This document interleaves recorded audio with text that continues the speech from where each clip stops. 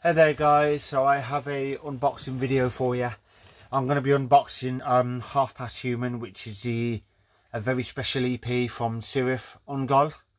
It just says very special EP, including four songs exhumed from their archival crypts, reimagined for today. It's limited edition to only 5,000 copies, so I can't wait to get into this. And if you like your traditional metal, then I highly recommend give these giving these a listen. Their last studio album, which I I've done a video for, and it's on my YouTube channel, is fantastic. So highly recommend these. I'm hoping they come over to the UK at some point so I can actually catch them live. So let's get into this, and I'll show you. Right. So there's the artwork, which is pretty badass anything with a sword then or sword and that sort of stuff. It always piques me interest because i'm absolutely a big fantasy nerd so this is going to be cool. Can't wait to listen to it. So there's the um disc. And the credits and the track listing.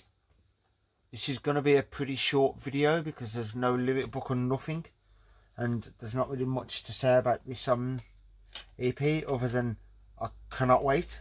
Give these reimagined songs a listen. These, yep, reimagined. So I can't wait to give them a listen and see what I think. So I hope you guys enjoyed this video. I will put a link in the description to their YouTube channel. So go check them out. Highly recommend it. If you like your traditional metal, then you've got to check these out. Awesome band.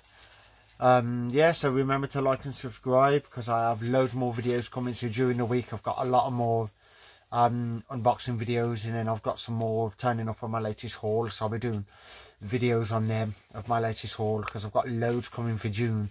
I have somewhere like 30 something pre-orders turning up of CD and vinyl and box sets so I can't wait to unbox all of them. And plus the new Helloween album I physically cannot wait because I've got how many versions of that. So yeah I hope you guys, guys enjoyed that video. I'll catch you in the next video so take care and stay safe